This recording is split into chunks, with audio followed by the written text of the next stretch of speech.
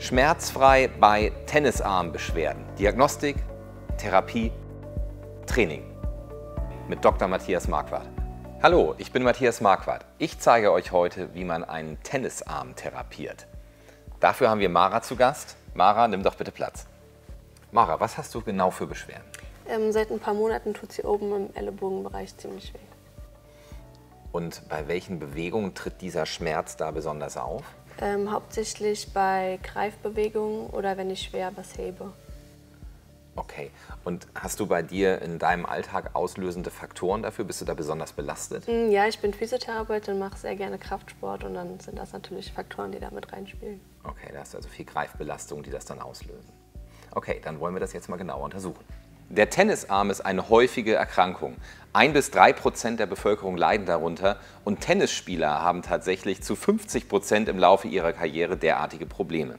Es handelt sich um eine Überlastung der Streckmuskulatur von Unterarm und Fingern, die hier oben am Ellenbogen ihren Ursprung nehmen. Häufig tritt die Überlastung durch wiederholte Tätigkeiten wie das Arbeiten an der PC-Maus, Kraftsport, Physiotherapie oder andere eintönige belastende Tätigkeiten mit Greiffunktion auf. Mara, ich würde jetzt einmal deinen Ellenbogen untersuchen, die maximale Beugung und Streckung, das macht dir keine Schmerzen. Auch die Pro- und Supinationsbewegung hier aus dem Handgelenk schmerzt nicht. Entscheidend ist jetzt die Unterarmmuskulatur, also die Handgelenksstrecker hier auf der Unterarmrückseite. Die werden hier schon etwas fester und da oben ist hier Ansatzpunkt, direkt hier am Knochen, am Ellenbogen und das merkst du schon, ne? da tut es weh. Das ist die typische Stelle, wo die Ursprungssehnen der Streckmuskulatur sich entzündlich verändern und Schmerzen machen bei Belastung. In der Ultraschalluntersuchung sehen wir hier das Radiusköpfchen, darüber die Strecksehnen, die hier oben ihren Ursprung nehmen. Die sehen hier erfreulicherweise normal aus. Wir würden dort Veränderungen sehen mit Blutgefäßen, die einwachsen, mit kleinen Teilrissen und Verdickung der Sehne, wenn solche Beschwerden über sehr lange Zeit gehen. Erfreulicherweise steht hier die funktionelle Überlastung im Vordergrund.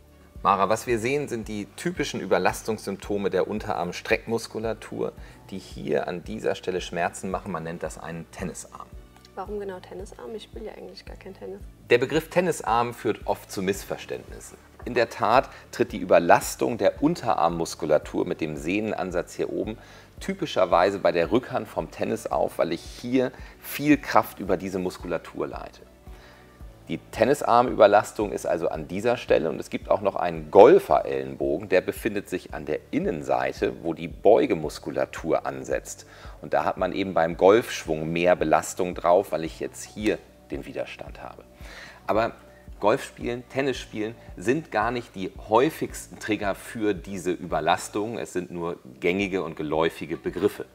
Viel öfter treten solche Beschwerden, insbesondere die des Tennisarms, bei Alltagsüberlastung auf. Also die immer wiederkehrende Mausbewegung am PC, die immer wiederkehrende Tragebewegung von zum Beispiel schweren Bratpfannen in der Küche, wo hier gehalten werden muss. Alles, was mit Greifbewegungen einhergeht, überlastet eben auch hier die Streckmuskulatur, die hier als Widerlager gilt. Und wenn man dann drei Jahre keine Gartenarbeit gemacht hat und die Heckenschere in die Hand nimmt, dann überlastet auch diese Greifarbeit gerne an dieser Stelle. Tennisarm, Golfellenbogen, beides heißt nicht, dass man diese Sportarten durchführen muss. Meistens treten die Beschwerden durch Alltagsüberlastung auf. Mara, diesen Tennisarm können wir behandeln, indem wir zum einen den schmerzhaften Punkt hier oben gezielt mit Injektionen, Stoßwelle, manueller Therapie behandeln, damit du schnell schmerzfrei wirst. Entscheidend ist aber, dass für deine Alltagsbelastung und für deine sportlichen Belastungen ein kluges Training installiert wird und dass du mit den richtigen Übungen für dauerhafte Schmerzfreiheit sorgst. Und dafür ist auch entscheidend, die richtige Aufrichtung in der Haltung herbeizuführen. Denn nur wenn ich ordentlich sitze und meinen Schultergürtel richtig positioniere, können auch Ellenbogen und Handgelenke schmerzfrei arbeiten. Wird das wieder gut? Der Tennisarm ist gut zu therapieren. Mit einer strukturierten Therapie kann man deutlich über 90 Prozent der betroffenen Patienten gut helfen. In den wenigen therapieresistenten Fällen gibt es noch intensivere Therapien wie das Veröden von Gefäßeinsprossungen oder das Verabreichen von Botox-Injektionen hier im Bereich der Unterarmstreckmuskulatur, um die Spannung am Sehnenansatz zu reduzieren. Operative Maßnahmen sind nur in absoluten Ausnahmefällen indiziert. Die lokale Therapie des Sehnenansatzes kann die Heilung deutlich beschleunigen, wie hier zum Beispiel mit einem Eigenblutkonzentrat, was unter Ultraschallkontrolle direkt an den Sehnenansatz gespritzt wird. Auch Stoßwellentherapie, Lasertherapie und Magnetfeldtherapie helfen, die Sehne zu regenerieren und die Schmerzen zu lindern. Mit manualtherapeutischen Techniken wird die schmerzhafte Unterarmmuskulatur gedehnt und im Ansatzbereich entspannt. Beim Flossing wird das Ellenbogengelenk und somit der Sehnenansatz der Unterarmmuskulatur sehr straff gewickelt. Es werden unter dieser straffen Wicklung mehrere belastete Bewegungen, beispielsweise durch Liegestütze oder in leichterer Ausführung Liegestütze an eine Wand gelehnt, Bewegungen des Ellenbogengelenks durchgeführt. Danach wird das Band entfernt und es kommt zu einer Mehrdurchblutung des Sehnenansatzes. Es werden drei Durchgänge mit jeweils zehn Liegestützen durchgeführt. Die Dehnung der Unterarm-Streckmuskulatur wird zweimal für 30 Sekunden gehalten. Mit der Faszienrolle wird die Unterarmmuskulatur detonisiert. Der Effekt wird umso stärker, je weiter man sich von der Wand entfernt aufstellt.